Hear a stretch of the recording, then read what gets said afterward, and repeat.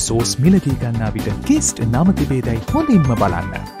අභියෝග රැසකට මුණ දෙමින් සිටින ශ්‍රී ලංකාවට අස්වැසිල්ලක් වීමට අසල්වැසි ඉන්දියාව මේ වන විට ඉදිරිපත්ව සිටිනවා. ඒ ඉන්දියාවෙන් මෙරටට ලබා දුන් සහනාධාර තෝරාගත් අඩු ආදායම්ලාභී පවුල් වෙත බෙදා දෙමින් අද මඩකලපුව චෙන්කලඩි ප්‍රදේශයේ පවුල් 550කට පමණ මෙලෙස සහනාධාර බෙදා දුන්නා.